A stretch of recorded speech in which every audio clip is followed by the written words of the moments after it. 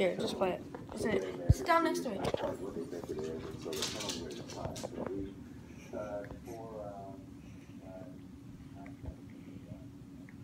What? What?